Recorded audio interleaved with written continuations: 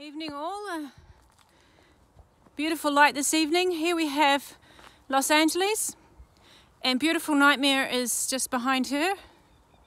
They're in with Songfest, who is my um, oldest broodmare on the farm. She's about 21 years old, an unbridled song mare, and the mother of Cake by the Ocean. So there's Los Angeles looking at us. She's spelling and we're just waiting for the tracks to sort of get some moisture in them. Connie is there nibbling on the grass and uh, the same with her. We're just, just a few weeks out to to calm her legs down and to miss those firm, firm tracks. Um, haven't had much rain lately, so we must protect their legs, make sure they're happy and healthy.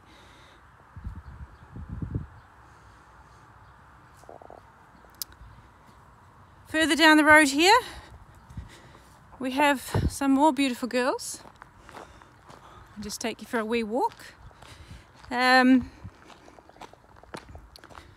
we've got Dance Dance Dance trialing again the week of the 24th.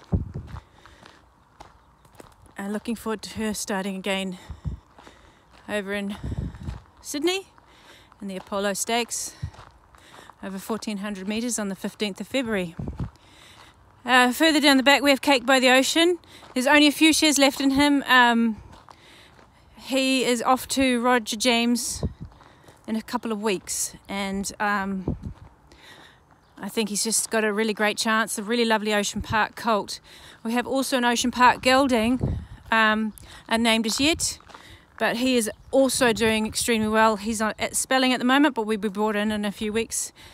Um, and um, so, two wonderful ocean parks. So, if you're interested in getting involved in an ocean park, I, I, can definitely recommend, highly recommend my two fellows. Um, highly educated and uh, off to some good trainers. So, here we have Devotion Emotion. She just arrived back today from Robin Rogers. He's been on the Water Walker, which has been a fantastic um, way to get her fitness going. Because of these hard tracks, we certainly don't want to ruin her before she even gets to Graham's. So she's looking wonderful, and um, hopefully we can get her fit and ready in a few weeks, and she'll be off over to the trainers. Hi, Brady. Hey, you say hi. She's got such a lovely personality. Uh, and here beside her is Starlight Express. She is in work as well. Um, take her slowly through. Again, she prefers a wetter track, so I don't want to uh, get her too fit too fast. Um, and so we just take her along nice and slowly, and she's doing really well. Further up the road, we have Can You Handle a Jandal? She'll be off to Graham Richardson's in a couple of weeks as well. Um, she's done everything right. She's got a wonderful personality. The riders love working with her. Uh, I would just like to see her how she goes this prep as an older two-year-old. But as you can see, she's she's she's happy. She's well, and um, be exciting to see her get into training and see what she can do this prep. Maybe get a nice couple of trials from her.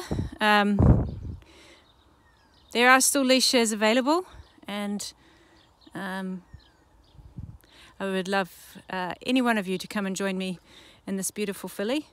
Hi, Jessie. Good girl. And here is uh, Emma Lavita. She has also just started her pre-training work about the same time as Starlight Express. Um, she's fit, happy, healthy. She doesn't mind the track so much, as much as Starlight Express, so we'll get her up and going a bit faster than than Starlight Express. Um, but um, she's really filled out her frame. She's muscled up really well, and she looks looks a treat. So those are my New Zealand-based horses at the present time. A lot of them are here, um, and um, I hope you're all having a, a wonderful evening. You're saying goodbye, Bella. Say goodbye. Good girl. um, and that's Bax on Track.